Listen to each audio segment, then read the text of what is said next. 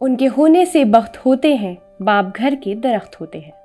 लकीमपुर खीरी में बतौर सिविल जज तैनात, मोहम्मद कासिम के पिता वली मोहम्मद जो हलीम बेचते हैं, उनकी भी कुछ ऐसी ही कहानी है।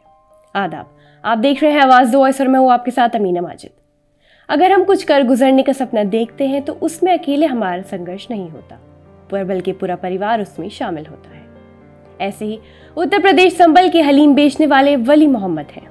जिन्होंने अपने बेटे के सपनों को पंख देने के लिए कभी हिम्मत नहीं हारी। उनके बेटे मोहम्मद कासिम ने सिविल सेवा न्यायिक परीक्षा 2022 में 135वीं रैंक के साथ परीक्षा पास की और अब वो जज बन चुके हैं।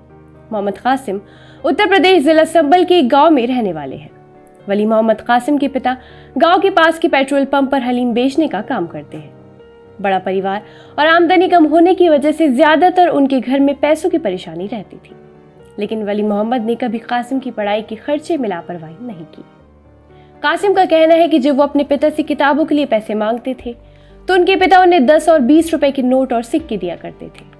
ये देखकर उनका हौसला और बढ़ जाया करता था। गर्मी हो या सर्दी, वली मोहम्मद सुबह छह बजे लीम बेचने निकल जाया करते हैं और शाम को घर में आते हैं। अपने पिता की मेहनत देखकर कासिम भी उनकी सहायता करने चले जाते हैं। वो सुबह छः बजे से शाम के चार बजे तक काम करते हैं, फिर छः बजे तक ट्यूशन पढ़कर वापस आते हैं। मोहम्मद कासिम ने अपनी शुरुआती पढ़ाई संबल से पूरी की थी। कासिम ने दसवीं में फेल होने के बाद दसवीं और बारहवीं दूरस्थ शिक्षा से पूरी की थी। उसके बाद ग्रेजुएशन उन्होंने अलीगढ़ मुस्लिम यूनिवर्सिटी से पूरा किया, जिसके बाद उन्होंने दिल्ली यूनिवर्सिटी में एलएलएम में दाखिला ले लिया, जिसमें कासिम की पहली रैंक आई। कासिम की मेहनत और उनके पिता का जज्बा इस चीज़ की मिसाल है कि अगर पिता का विश्वास अपने बच्चों में है और बच्चों में कुछ कर गुजरने की हिम्मत है तो सपने पूरे हो ही जाते हैं।